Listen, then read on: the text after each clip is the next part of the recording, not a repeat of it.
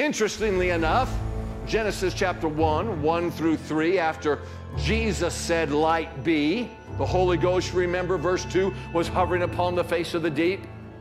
Light be, and it was. And then it says, And God saw the light and said that it was good. In other words, God inspected what He made. Now, what does that tell you about the Lord? What does that tell you about God?